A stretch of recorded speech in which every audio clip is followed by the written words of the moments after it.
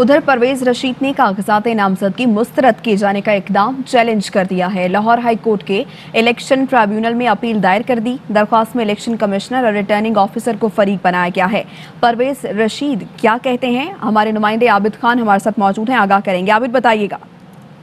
जी, बिल्कुल जी, परवेज रशीद ने सैनेट इंतबात के लिए कागजात नामजदगी मुस्तरद किए जाने के इकदाम को इलेक्शन ट्रिब्यूनल में चैलेंज कर दिया है। अपनी अपील में उन्होंने मौका इख्तियार किया है कि रिटर्निंग अफसर ने गैर कानूनी तौर पर कागजात नामजदगी, मुस्तरद किए जो इतराजात आयद किए उन्हें दूर करने की कोशिश की, मगर इसके बावजूद रिटर्निंग अफसर ने जो है वो कागजात नामजदगी मुस्तरद किए।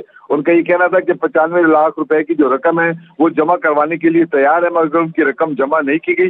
पंजाब हाउस से रकम का मुतालबा किया गया, मगर जमा करवाने के मतलब बैंक की मालूम नहीं दी उनका ये कहना था कि उनके चेक तैयार पड़े हुए रिटर्निंग ऑफिसर ने रकम जमा करवाने से मुतलिक जब पंजाब हुकूमत से मालूम मांगी तो वो उन्हें नहीं दी हुकूमत जान बूझ कर रकम वसूल नहीं करी और उनके कागजात नामजदगी मुस्तरद करवाए गए अदालत ये फैसला कलदम करार दे और उनको रकम जमा करवाने और सेनेट का इलेक्शन लड़ने के लिए अहल करार दे जी ठीक है बहुत शुक्रिया आपका आबिद